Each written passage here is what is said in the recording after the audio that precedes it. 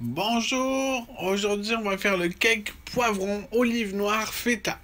Alors vous prenez 250 g de poivron rouge découpé en dés, vous mouillez à hauteur et vous faites cuire jusqu'à ce qu'il n'y ait plus d'eau.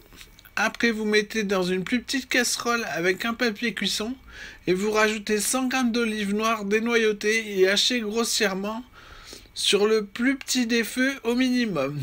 Pendant ce temps, on va découper 150 g de feta égoutté en gros cubes de 1 à 2 cm.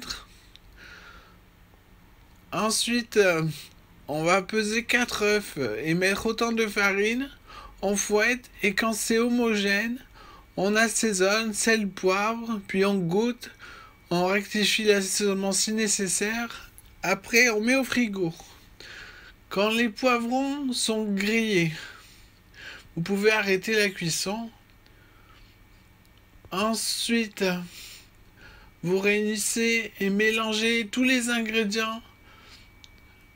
Puis euh, dans un plat en silicone au micro-ondes à fond 9 minutes. Et voilà, bon appétit